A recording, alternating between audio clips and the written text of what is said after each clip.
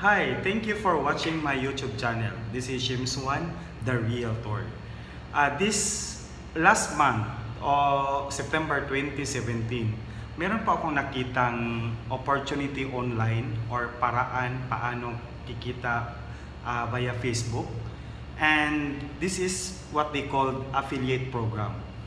Last year of 2016, meron pa akong natinan na webinar regarding affiliate program na ito po ay isang paraan na kikita ka uh, via promotion to social media or yung isang business, product and services na i-promote mo sa social media tapos yung bibili ay dumaan sa promotional link mo meron kang commission.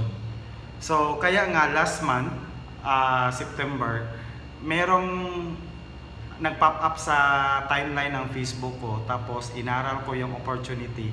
At nakita ko okay naman yung legalities ng company. Okay naman yung uh, owner.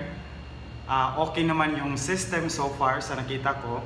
Uh, okay naman yung products. Kasi mas interested ako sa product niya yung online marketing o paano ka kikita sa online marketing So doon ako nagka-interest sa product nila na tinatawag na IHX Factor or digital products nila na this is 11 videos.